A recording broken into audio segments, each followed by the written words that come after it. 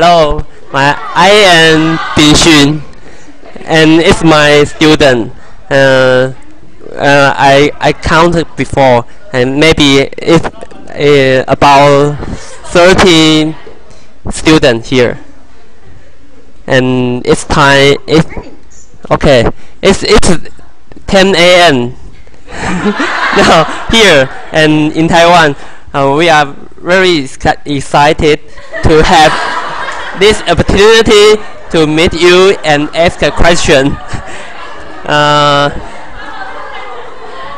maybe they can, uh, uh, maybe you can introduce yourself, and uh, I will let the student uh, to ask the questions. Okay. My name is Randy Brennan.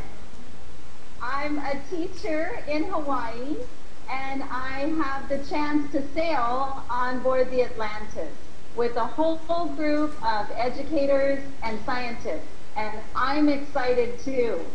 So um, I do want to show you that yes, we're on a ship, so I want to take you out the door. You'll just follow me. Okay. Can out?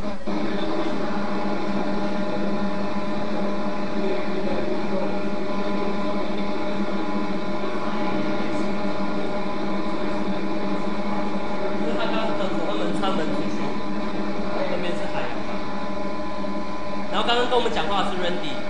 Hey guys, wait. Okay, I see. Okay, we can see the sea. Hello.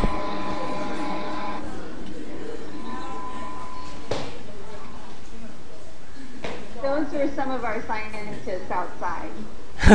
Um, now I want to introduce you to Tina. okay, I'm Tina. gonna come this way.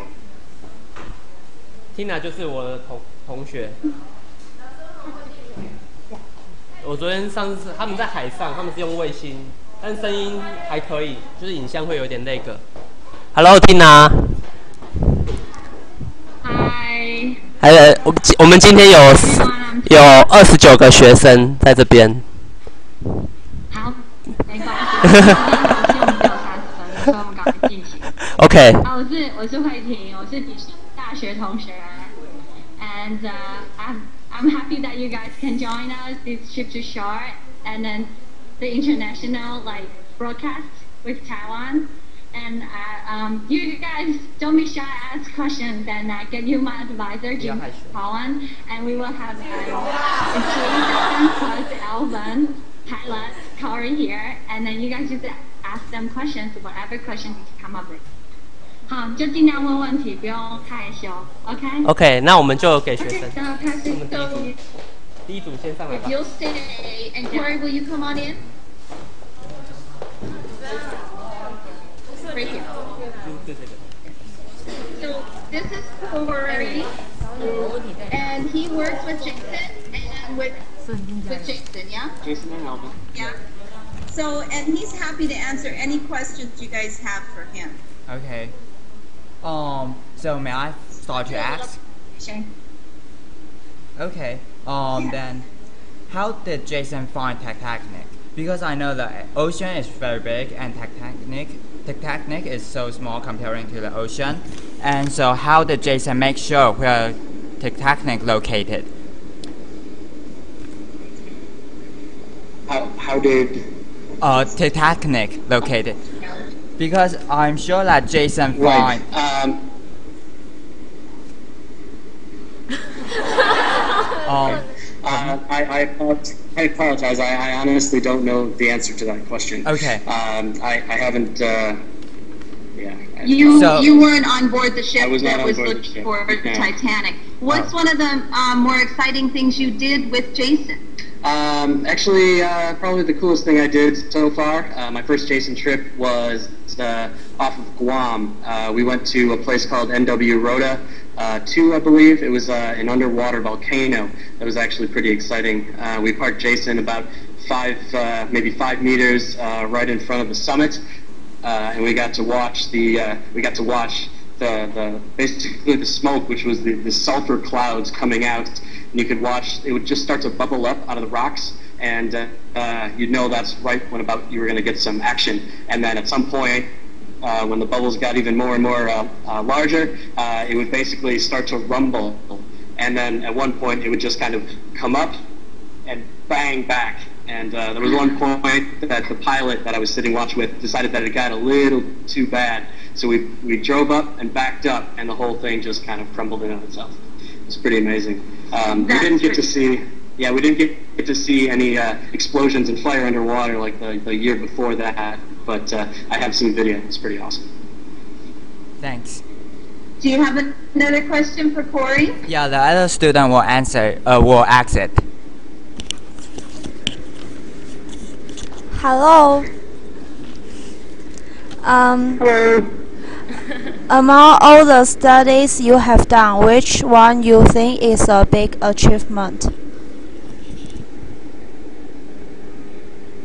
So your biggest achievement connected with Jason, yeah?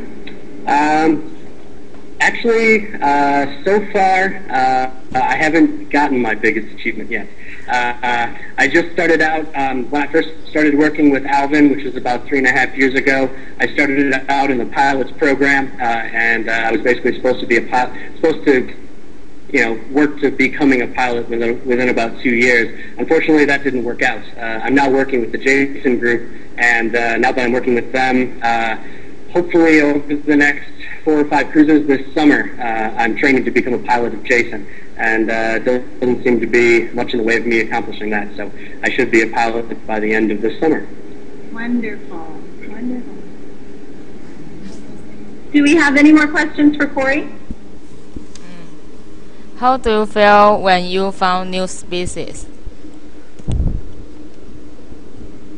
How does it feel when you find a new species or Okay. something you've never seen before? That's a pretty fantastic question, actually. Um, over the course of uh, my years out here, uh, I've gone on about eight Alvin dives myself uh, as a pilot in training and as a co-pilot. And uh, on, see, probably my third dive uh, out in this same area, we were, we were searching for uh, one one of the scientists that I dove with was she's an astrobiologist, and that basically means that she studies studies for life on other planets. And the bottom of the ocean is is probably the closest thing to life on other planets that you can get to. Uh, and while we were out there, uh, we were picking up samples of uh, clams and of mussels. And uh, she basically, it was probably, like I said, it was a very early dive, so I wasn't very good with the manipulator.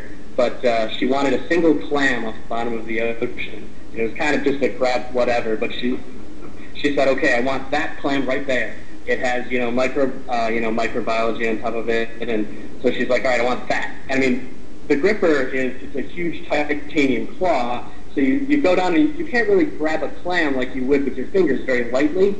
So if you, so basically, I went down and hoping that I wouldn't crush one like the one I did before that.